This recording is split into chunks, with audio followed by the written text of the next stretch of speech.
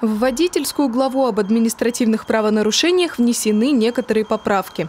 Разработанный законопроект подразумевает отказ от штрафа за незначительные правонарушения, не приносящие вред другим автомобилистам и пешеходам. Это значит, что завидев издалека машину ДПС, рулевому, у которого не включены поворотники, можно не переживать. Словом, таких изменений немало.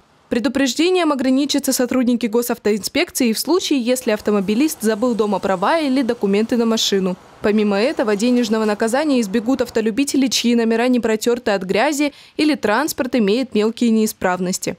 Также на первый раз водителю простят маневр, перед совершением которого он не занял соответствующую крайнюю полосу проезжей части дороги. Однако за рецидив нарушителю уже будет грозить штраф в размере 500 рублей. Послабление режима связывают с тем, что если применять положение перечня неисправностей и условий, при которых запрещается эксплуатация транспортных средств, то Россия рискует остаться в ситуации тотальной нехватки автомобильного транспорта. Так говорится в пояснительной записке к документу. По словам автора законопроекта, депутата Государственной Думы Николая Новичкова, административную нагрузку на автомобилистов, допустивших незначительные нарушения ПДД, которые не ведут к фатальным последствиям, необходимо снизить. Таким образом, порядок, который сейчас регламентируется указаниями ГИБДД, будет закреплен в законе.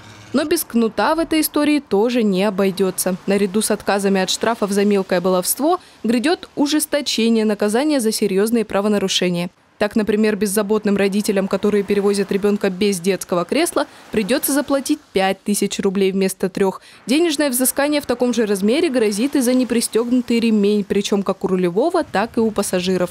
Основная задача подготовленных поправок – смягчить санкции за мелкие проступки и ужесточить наказания за нарушения, которые потенциально могут привести к тяжелым последствиям, говорит автор поправок.